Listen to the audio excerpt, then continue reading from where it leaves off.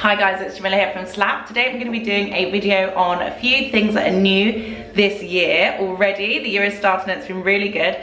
I was going to be doing a Charlotte Tilbury pillow talk video, mm -hmm. but I decided it doesn't go with my outfit and I'm going out, so I just want to do something that I think will work for tonight. So, um, I went on a little shopping spree. Normally I buy my makeup online or my skincare online, but I really wanted to just feel a few things that I've been looking at and I had, I was on my way to a doctor's appointment, I had some time to spare and I just really wanted to get some things like instantly. So I got quite a bit. I got the new Drunk Elephant F-Balm which I felt on my hand in the store and it was so soft and creamy and lovely and hydrating and I just literally had to get it. So I got that. I also got the NARS Illuminator. It's actually called Tinted Glow Booster. This is really nice. I tried this on my hand as well. I also got the Laura Mercier foundation primer, which is not new, um, but I got this in hydrating. I've got it in illuminating, and I like that. It's quite glowy, but I feel like not all the time do I want to be glowy, so I got it in hydrating to see how that works on my winter skin. I also got the new Hourglass Vanish Airbrush Concealer, which is probably the most exciting Oh, it's hard, it's hard, it's hard. It's one of the most exciting things I've bought. I've been looking, I've literally the last few weeks, I've been looking online everywhere.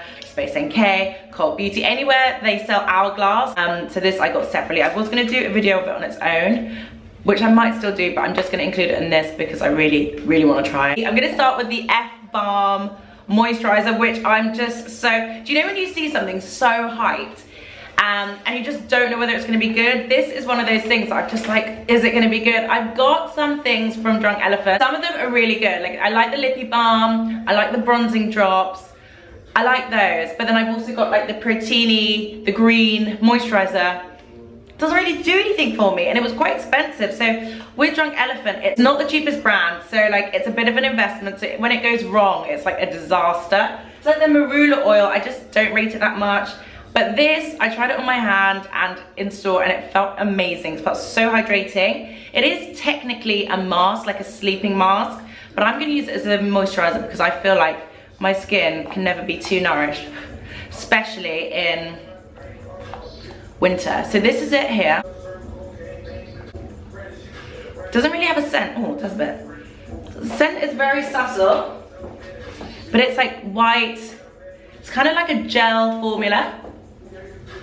I don't know how my makeup's gonna enjoy this, but I just really wanted to wear it. Oh, it feels so hydrating. I just feel like my skin was thirsty and now it's not. Like that difference It's insane. That's what it felt like on my hand. I was like, I just have to get it. It's so nice. And I feel like this might be wasted in the evening. I feel like my skin needs it now. Hello. So it's giving my skin a really nice glassy quality. It feels really supple, not sticky at all. It's just really nice. I think it's a really nice cream. So, so far, so good. Next I'm gonna do the primer, which is Laura Mercier Hydrating Primer. A lot of this is base products. So I feel like base is really the best way to make yourself look good. If you want a good face day, get a good base day. it rhymes. So I'm gonna use a bit of the Laura Mercier. It kind of looks like a cream as well. Just looks like a moisturizer. Same scent, or the same scent still on my hand. It's really, it glides on very easily, makes my skin look nourished. My only concern about this is will it stay? Will it have too much slip? So far, so good. It looks really, my skin is so soft. It looks so hydrated. It's just a good day, guys, good day. Good day for moisturization. So next I'm going to be trying the NARS Tinted Glow Booster. This is quite big actually. You get quite a lot of product. 30 mils, so it's like the size of their foundation. And this I guess is like their version of Charlotte Tilbury's Flawless Filter. I feel like this is their answer to that or like a giant version of the bronzy drops from Drunk Elephant. So I feel like this is trying to be like those. This is in a glass bottle, feels very heavy. And this is it on my hand.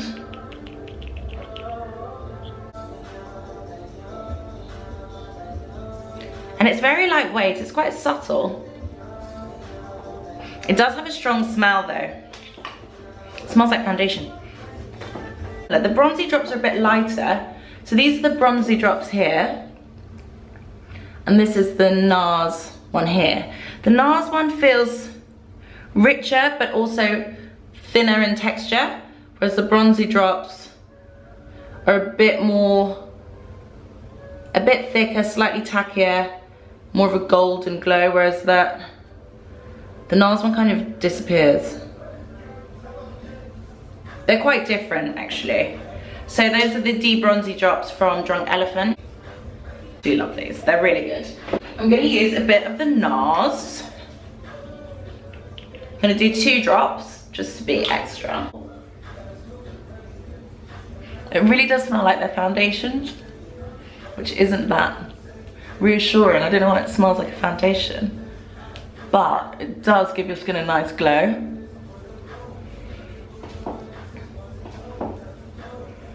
Feels very soft. I'm gonna use a bit more just to see how glowy I can go. It is nice, it feels really lightweight.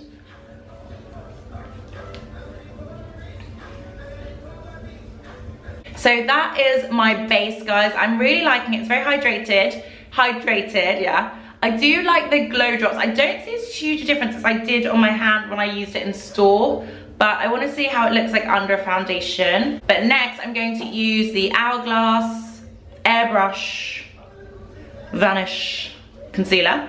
This is in the shade Maple. I really like the packaging of this, it's gorgeous.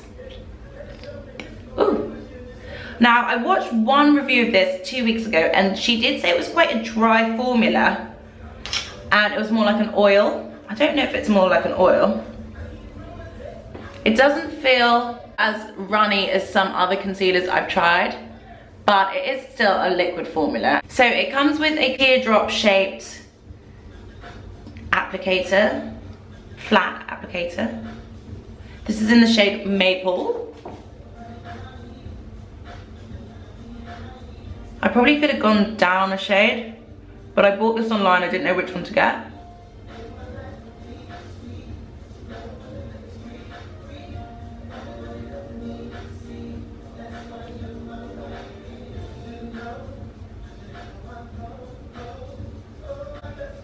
It doesn't feel as um, malleable. It doesn't feel as like liquid in the sense that you can really like, I feel like it's drying down already. You quickly rub it in before it does.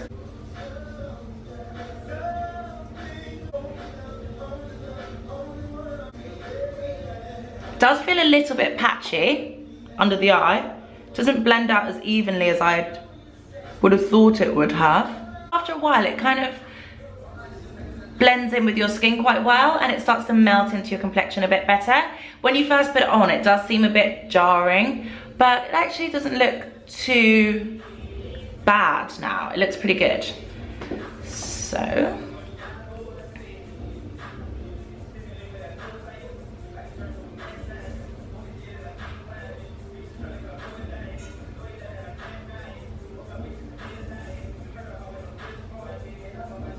It does seem to go a lot further with a sponge.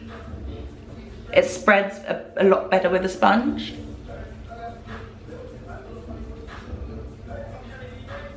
This is it with the brush side. And this is it with the sponge side. I've left the concealer for a little while just to kind of sink into my skin and I've really noticed a difference. It does melt in really, really nicely. So guys, that is pretty much my finished look. I wanted to show you my face just before I set it down with a setting spray. I'm actually pretty impressed with the concealer. I can really see where I've applied it and the difference it has made to my face. It just looks a lot more flawless. It looks a lot more kind of snatched, perfected. Definitely a lot more sculpted as well. Like where I went up with the concealer, you can see where it's kind of set itself and fixed itself up. There is a tiny bit of creasing under my eye, just here.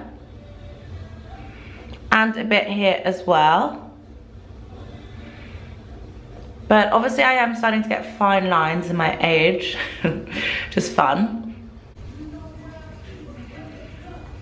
I do like the finish. It looks very flawless. It kind of reminds me of the Charlotte Tilbury Airbrush Flawless Finish. It does have that kind of matted down perfection finish. I don't normally go for that, but I do like it though, and I do like how it's sculpted up my, up my face. And it just looks so, so, so smooth where it was as well. My favorite thing was was the F Balm Electrolyte Water Facial Mask Hydron from Drunk Elephant. I personally will be using this as a moisturizer because I think it's really nice. It does say to use like four to five pumps and I think that's really excessive and I don't know why you'd ever need four to five pumps of any cream.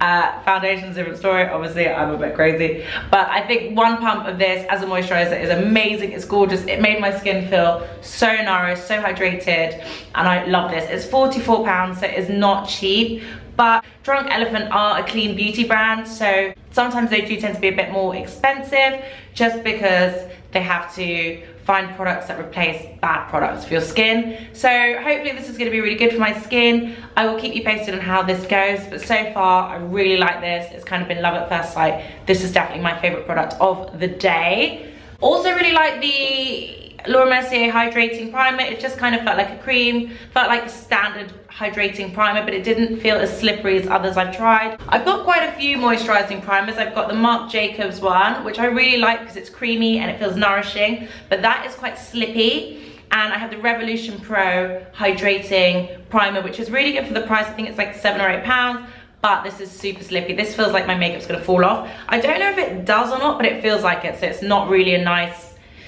feeling. I think this is probably the best of the three so far, but I haven't worn it throughout the day, so I'll let you know how it goes. Also, I did like the NARS Glow Booster. I preferred it on my hand in the store. I'm going to try it with some other foundations. I'm also gonna try it over summer, also when I go away, see how it goes, because I think this is a product I will grow to use more and more. But I think because I had such a moisturized face today, I don't think I could really tell its benefits. Like it didn't give me a super glow because my skin was already kind of glowy. I really do like this concealer. I think it's given my skin a really nice flawless finish. A bit patchy in parts, but nothing can be perfect. Anyway, guys, thank you so much. Hope you like this video. If you haven't subscribed already, guys, please subscribe. We would love to have you in the Slapp family. Thank you guys so much for watching. I hope you liked it, and I'll see you on the next one.